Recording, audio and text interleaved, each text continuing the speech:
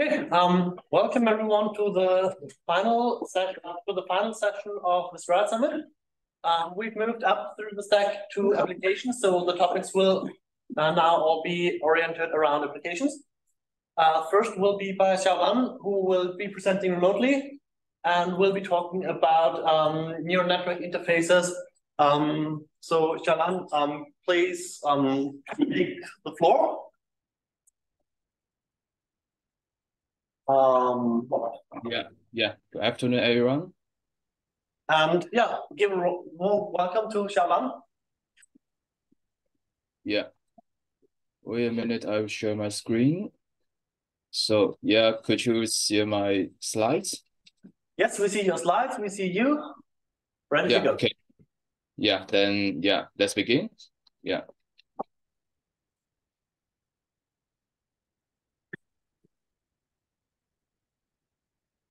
Okay, yeah. Thank you for the introduction. Yeah, um, good afternoon again. Uh, I'm Zhao Lan, a PhD student from Freie Universität Berlin. Uh, I'm happy to have the opportunity to share our recent work with you, the U-TOE, uh, Universal Tiny Machine Learning On-Board Evaluation Toolkit for the Low-Power IoT. So um, at the beginning, I want to take you on a journey to explore two fascinating aspects of the technology uh, the widespread invasion of artificial intelligence, AI, and the growing trend of AI at edge. First, let's talk about how AI is invading everything around us. Imagine a world where your everyday devices, from your smartphone to your car and even your fridge, can think and make decisions just like humans. That's AI for you. It's like giving machines a brain to assist us with tasks. Now let's shift our focus to the trending concept of AI at edge. Uh, imagine yourself in a small, small village, far, far away from the city, and you need assistance. With AI at edge, you can have a virtual friend, a doctor, a driver right there with you. This AI doesn't rely on any distant server. It's right there in your device and ready to assist and enhance your experience without any data leaks and privacy concern. So in a nutshell, AI is invading everything around us. And with AI at edge, we are bringing AI closer to where the action, where the environment is, and ensuring that intelligent assistance is available even in the remote location. Um, today's journey will start with a crash course to give you some fundamentals on tiny machine learning and neural network. Then we will look into the challenges and related work with which uh, review gaps that U-TOE tries to fill in. After that, we will talk in talk about the details of U-TOE, uh, about how we implemented it and what we can do with it. We also tested some models which gathers from various machine learning tasks on wide spectrum of IoT boards, and we will take a briefly discussion about the results. Uh, at the end, I will talk about how we will extend the U-TOE and what we will contribute to the community for both Riot and machine learning community in the future. So um, let's begin. Um, first, uh, machine learning is a concept, it's a combination of complex algorithms. And it's about how computers make decisions automatically on some collected data without any rule-based programming uh, there are two main significance characteristic. Uh, the machine learning algorithm is compute intensive and data intensive. And currently the most popular algorithm in machine learning is the neural network. So uh, what is the tiny machine learning, uh, aka tiny ML? Um, tiny machine learning is a methodology about how to push such data-driven decision program to the edge, to the device with poorest resource. And tiny machine learning focuses on deploying machine learning model, for example, the neural network on the embedded devices to enhance the intelligence of the network edge. So uh, what is a machine learning model? A model is a computational representation of a process or a system It's learnable, it's a learnable function, uh, which maps the input data to some predictions or to some classifications of, of the pictures or the voice.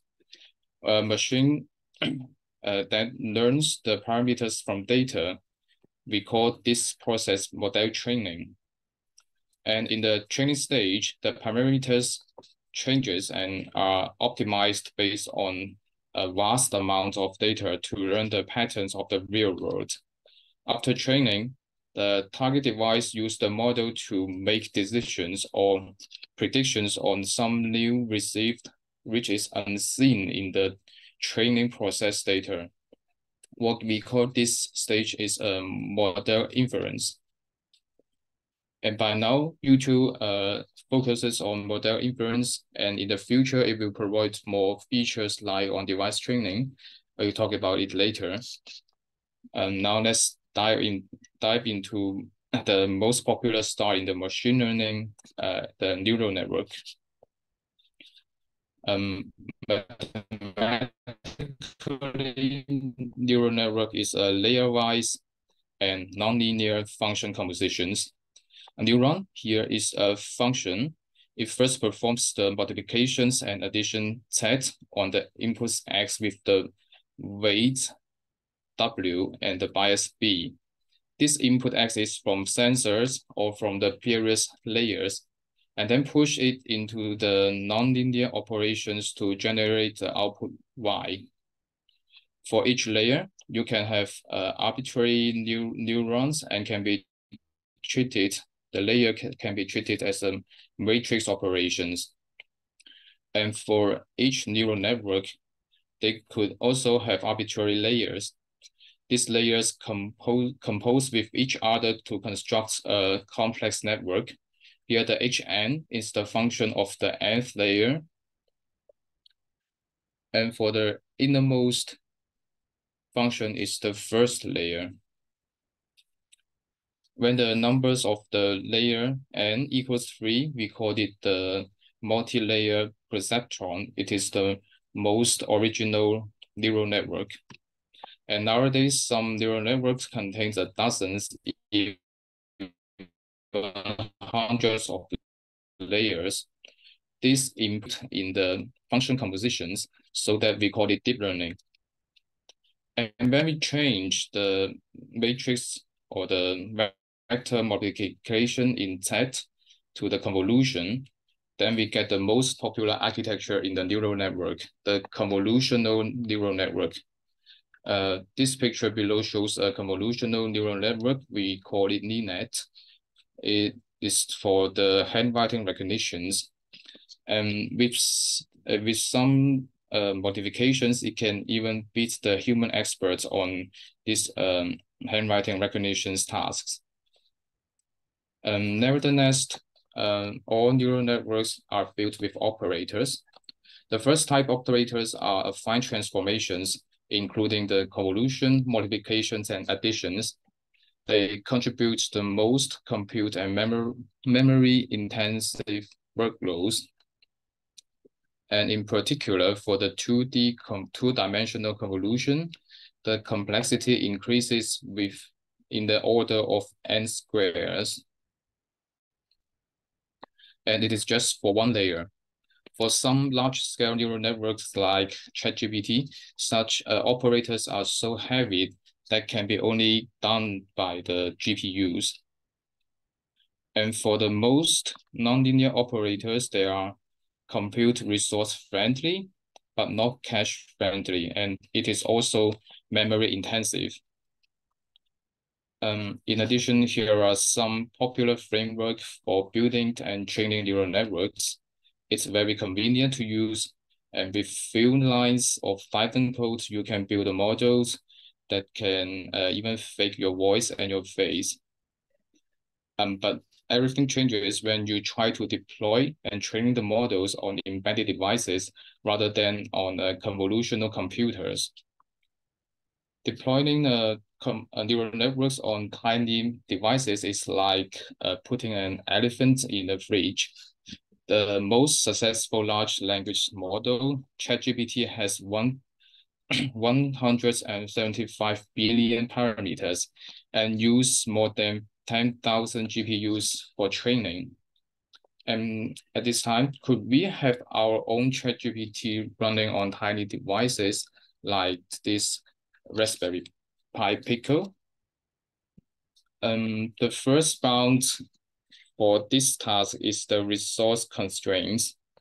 On the personal computer or server, the models are deployed in the GPU with memory and storage in gigabytes and the processors in gigahertz.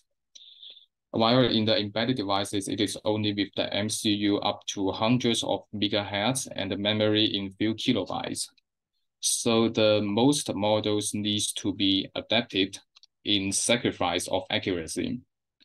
For some real-time applications, they require the models process uh, data as quick as possible so that it wouldn't hit the hard deadline. Those requirements in TinyML urge uh, continual iterations between the models and devices in earlier uh, prototype stage.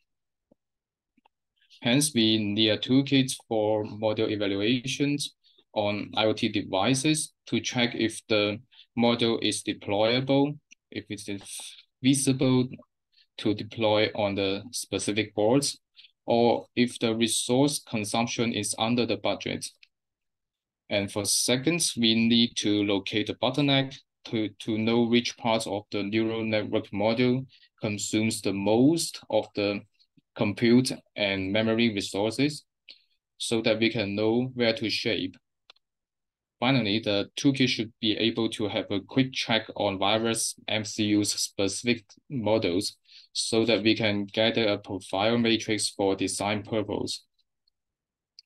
To build such a solution, we, we, we review uh, some works in model compilations, model profilers, and TinyML benchmarks, and some low-power IoT platform.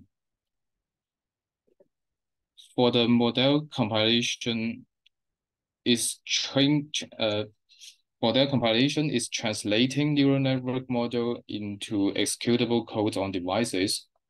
The major machine learning frameworks such as um, uh, PyTorch, the TensorFlow only supports their own model files, and most of them focus only on convolutional GPU and CPU, not MCU. Uh, here, this TVM, the Tensor Virtual Machine, is a transpiler, is an open source transpiler, which can consume module from various frameworks and then optimize and compile the models to various devices. For the micro TVM is uh, variations from TVM is a special branch which can generate executable and optimized code for MCUs. For uh, model, model profilers have some have the same situation as model compilations most of the machine learning frameworks provide internal profilers, but only have merely support for the IoT boards. Uh, MLX-Ray is a novel model profiler. It's just released uh, this year. It's very easy to use, but not supports IoT boards as well. There are also benchmarking suits and benchmarks for sorry, for TinyMLs like uh, MLPerf Tiny, but they only focus on specific models or on specific IoT boards, which would could narrow their generality. For IoT, uh, low power IoT platforms, Riot and Fit IoT Lab is a good candidate for model deployment. As should be known, it uh, provides us a wide spectrum support of MCUs and IoT boards so that we can uh, test U-TOE on various devices.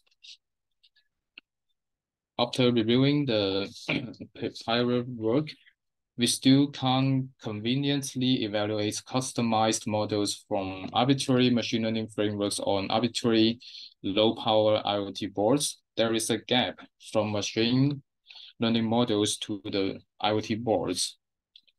So um, we designed U-TOE for filling these gaps. The goals of U-TOE are automatically compressing and thrashing and evaluating arbitrary models on arbitrary commercial off-the-shelf low-power boards. It evaluates how many memories and storage resource the model consumes and how much it needs for the how much time it needs for the data processing. U-TOE's um, have two granularities. It measures the models uh, in per module or in per operator uh, modes. Per module evaluation measures performance of the model as a as a whole systems, which means the resource footprint, including all its layers and operators, uh, are measures. Uh, for example, uh, this allows for evaluating the resource consumptions for some production-ready code and production-ready models on the particular industry hardware setup. For the, uh, the per operator evaluation measures separately the performance of one or more operators. These measure these measurements can help to identify the specific operators that contributes the most inefficiencies on the device and finding out the potential bottlenecks. Um, here is the hardware configuration of U-TOE. The host PC um, is normally connected with one or more local IoT boards by serial ports. And if you don't have such a board in hand, you can also use the remote port on Fit IoT Lab testbed through the serials open TCP.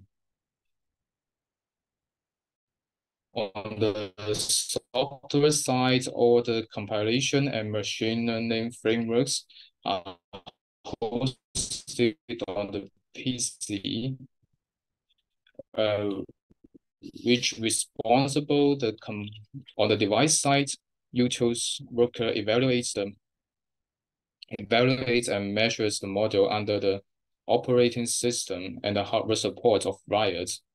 In the per model evaluation, U-TOE worker gathers the measurements data and log back to the host, to the host PC. And in the per operator evaluation, uh, RPC terminal is set up for the device and the host for more complicated com uh, communications and measurements. Now let's see how's the general workflows of the U-TOE. Yeah, uh, at the first step, the TVM translates the models from different machine learning frameworks into C codes or LLVM-IR, which is optimized to different MCUs based on the customized, based on the um, configurations of the customers on the development developers. Second, the model codes are co-compiled with the Riot and the U-TOE module into the firmware according to the type of the target device. And finally, U-TOE flashes the firmware to the target board and gathers the performance matrix back to the host. This workflow provides a model to broad solution which allow us to evaluate the arbitrary models on arbitrary IoT boards. So at the next stage, to validate the functionality and the generality of the U-TOE, we conducted some experiment experiments on of virus models on different IoT boards. So our model zoo contains the models from of uh, from virus structures on different tasks. So uh, from the classifications to the regressions to um, to uh, enlarge the granularity of the module. Also, our MCU zooms contains two main strain of ISA, the ARM Cortex M series and the RISC-V. um, as you can see here is also the numbers of the parameters um, this parameter is is the numbers of the parameters is uh, optimized so that it can be um, deployed on such tiny devices. And also we disable the data and instruction cache to observe the memory wall effects in ML models. Uh, this table shows the results of the LeNet 5, which is used for handwriting recognitions on various IoT boards. So uh, no surprisingly, the computational latency decreases with the increment of the core frequency. But there is an outlier here, the HiFive1 b with the highest core frequency, it won the worst computational latency. Uh, this RISC-V MCU uses an external and SPI NOR flash for data and program storage, which could cause a huge performance regressions while we disable the cache. This table shows the results of different models on STM32 Disco uh, evaluation boards. Since the mobile MobileNet has the largest structure, yeah, here, shown here the largest parameters, so uh, it consumes the most resource resources comparing to other models. The table below shows the per operator evaluations of a simple model, which uh, predicts the sinus value for a, a given x.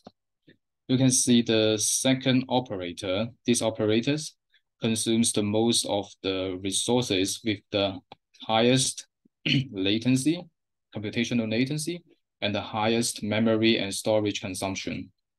We can then trace down the corresponding layer of the neural network.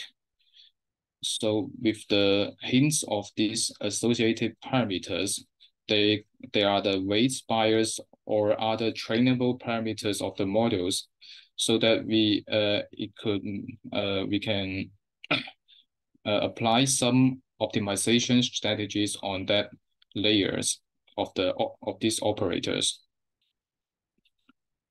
Now we successfully uh, built a generic solutions for performance evaluation of neural network on wireless IoT boards, but um, what's next? For the current state, uh, U-TOE is still a command line based application so we are now building a GUI for more user-friendly interface. And we also consider to make U-TOE as a Riot package so it can it can co-involve with Riot and provide a tiny ML solution for the community. And also uh, there is some uh, some weird things during the development of U-TOE. We discovered some numerical issues in TVM which generates inconsistent results comparing with the PyTorch. Uh, it needs us more interactions with the TVM community to solve these issues. On the machine learning support side, uh, U-TOE now only supports evaluation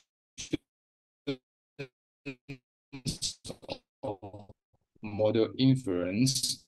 We'll keep push it to support on device training, uh, more complicated scenarios. Also, there are other powerful machine learning algorithms such as SVM, decision trees, and reinforcement learning, and so on.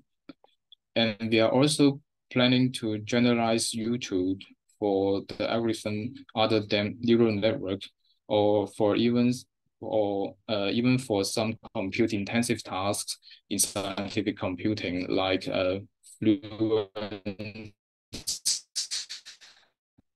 uh, simulations.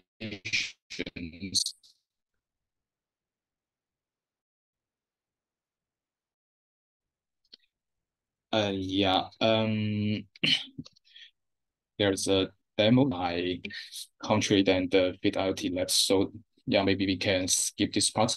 Uh, here is the example of the U-TOE's output. It measures the the uh, modules for 10 times and gener generate some statistic numbers for that. And for conclusion, we provided an open source and generic model to boy evaluation solution, and we provided in this works a comparative experimental ex uh, results that can be um, as a reference for the model development and yeah, for some model accelerator um, development. So uh, yeah, thanks for your attention. And here's the uh, the report and the arXiv of the U-TOE. You can download it with these links and try out those demos uh, on your uh, PC. So yeah, um, there are any questions for that?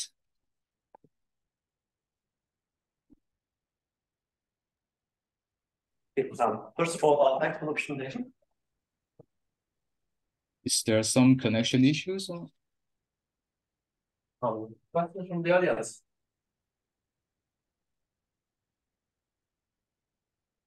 Um, uh, sorry. Seeing no, yeah. Um, seeing no hands, um, I do have one. Um, I've seen that a few um, of the um, microcontrollers that we support in Riot already um, are um, shipped with uh, neural network um, acceleration units.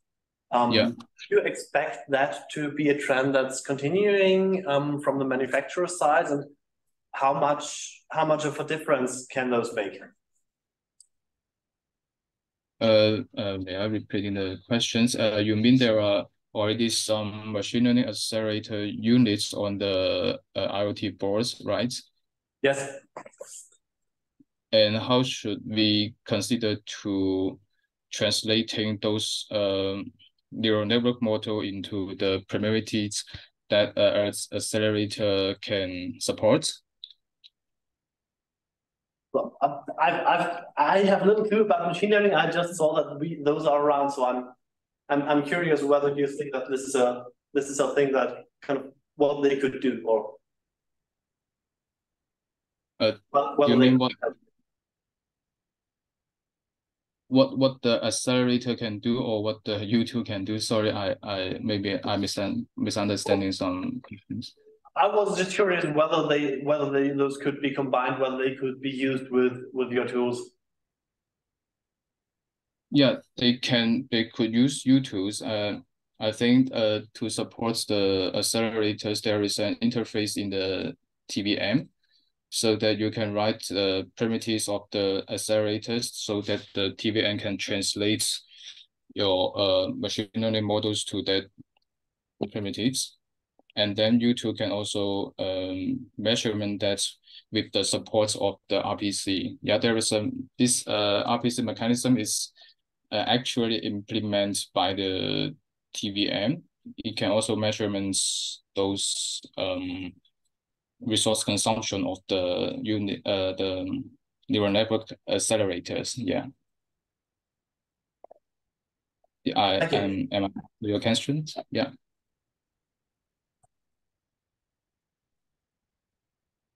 Um, yeah. Yeah, yeah, there is some latencies by my side, I think. Yeah. Sorry comments I think with these these accelerators are really nice, but they're a bit like uh, from our from our experience, uh, a bit of a state for uh, uh, you know trust zone right now. So there is some stuff, but like to program it uh, well and to, for example, like to go in the direction of learning on device, they there's, there's not even an interface for that. Uh, so there are like need some addition that have their stages and to have like the flexibility. Mm -hmm, yeah. Software is like uh, it's nowhere near that. So then uh, that's it. Like uh, stuff in hardware and just like so uh, you get like a huge uh, huge performance for sure. Uh,